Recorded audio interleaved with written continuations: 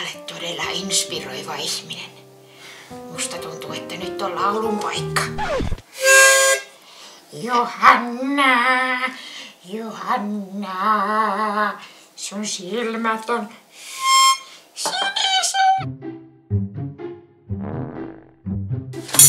No niin. Mä olen tällaisen listan laatinut ominaisuuksista, joita mun vaimolla pitää olla. Ensin voidaankin täyttää tällainen lomake. Sun nimi oli Johanna. Johanna, Ei sä sukunimellä mitään väliä ole, kun saatat sitten mun nimen. hetkinen. Ei vaan Virtanen.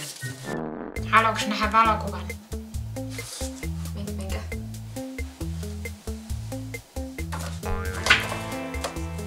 Ei! Tää on tosi hyvä.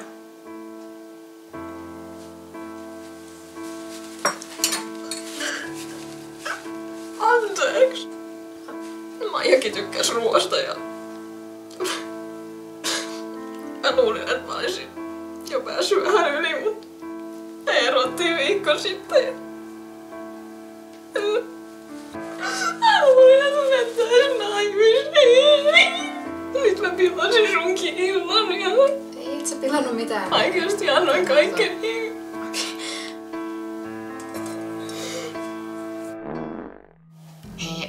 Tätä mitenkään väärin, mut siis... Sä oot tosi nätti tyttö. Mut saisit nätimpi, jos sä olisit vähän laihempi.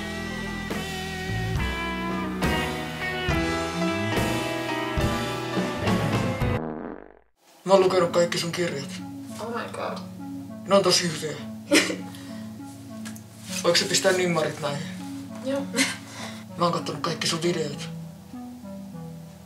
Mä oon seurannut sua monta vuotta. Mä tiedän missä sä asut. Mä tiedän mitä sä harrastat. Mä tiedän kenen kanssa sä söit susia viikko sitten. Mä tiedän susta kaiken. Mulla on sun hiuksia tässä pussissa. Saanko mä vähän lisää?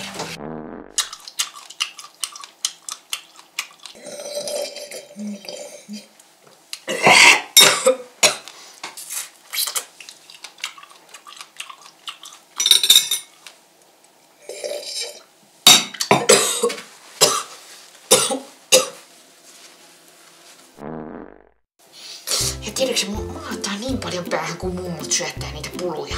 Sellaisia lentäviä rottia tarvii syöttää. Tiedätkö, mitä ne pulut liikkuu, kun ne nykii sellaisia? Kato, mä oon pulu.